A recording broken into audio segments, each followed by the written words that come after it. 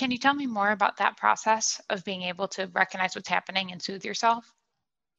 Yeah, I mean, for me, I, I guess it kind of depends on the specific example, but and sometimes they're better than others. But you know, in an ideal scenario, something that would happen that triggers me, um, I think then to myself, you know, this is just your anxiety talking. But it like for me, like that is like the actual like moment where it flips. So if I catch it that is my moment to actually action on it and change the path that my mind is going down and much faster change the process and change how the feelings in my body start to kind of dissipate.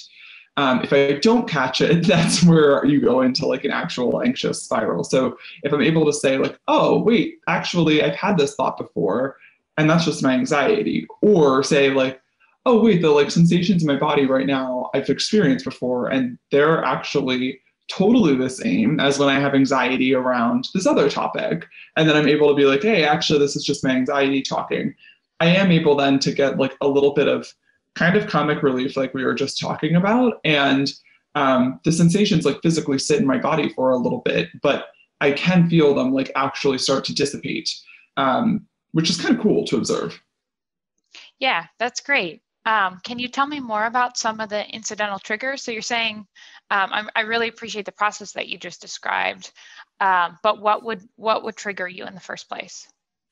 Yeah, I mean, I feel like all sorts of incidental things happen all the time. Um, even like, I, actually, something that I find happens often is a friend says something that happens to them, and then I immediately think like, what if that happens to me too?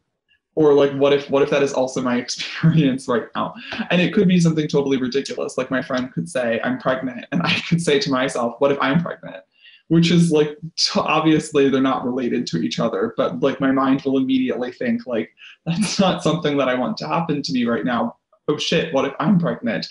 Um, or like similarly i've been finding that with covid a lot too where someone will mention um, they you know went somewhere and it turns out like the brother got exposed to COVID or something.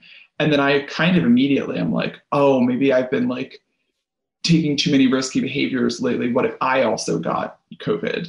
Um, so I actually would say like one of the biggest incidental triggers for me is just hearing someone else be worried or concerned about something and immediately assuming I could also have that same problem, even though logically I understand that I don't. Mm-hmm. Um, yes, that completely makes sense. It sounds like it's both. It seems like a threat to them that, and then becomes a threat to you, and may also be a consequence of empathy. Like if you, because you're an empathic person, I wonder if you pick up on the feelings of anxiety that they're describing, and then feel anxious in your body as well. Does that resonate at all? I think that's entirely possible. Um, the family system that I grew up in was such that I was kind of always feeling the sensations of other people around me. So I do feel like now, as an adult, if I feel, you know, pregnancy is not a good example. Most of my friends have intentionally chosen to become pregnant and were happy about it. But um, for you know COVID or examples where people, you know, maybe someone tells me they got fired by their boss or something like that I do like immediately feel like I adopt their um, emotional sensitivities and then I feel them my, on my own and internalize them as if it's happening to me. And then I worry that it's happening to me. Okay. Yeah, that's a really great example of incidental um, exposure.